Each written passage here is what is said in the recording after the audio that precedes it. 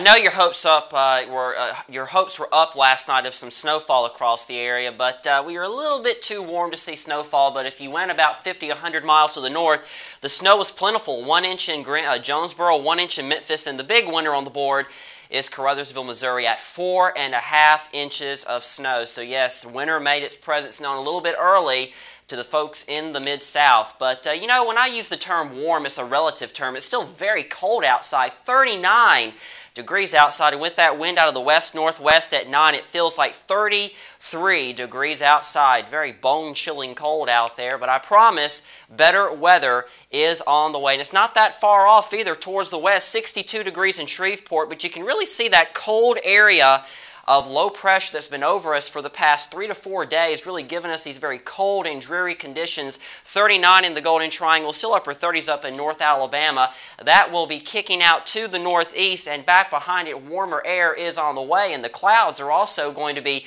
decreasing as we head through the overnight hours. You can see already clear skies back in central Mississippi down towards the Gulf Coast. We're still socked in with the clouds, but the clearing line is not that far away. It's back over into the Delta area, and that will be moving through our area as we head through the night tonight. And Futurecast does show this by Wednesday morning. Tomorrow morning, waking up, it's going to be very cold outside, but uh, clear skies, a very sunny start to the day. As we head through the day on Wednesday, no clouds around. And as we head through your Thursday, still clear skies and temperatures will be warming up a little bit into the 50s. So some good news there. So for tonight, 31 degrees, mostly cloudy, still cold outside. The clouds will be decreasing as we head towards dawn, north wind at 10. Then for tomorrow, 50 degrees, sunny, but cold to start out your day under a light northerly wind. And the temperatures warm up as we head through the extended period.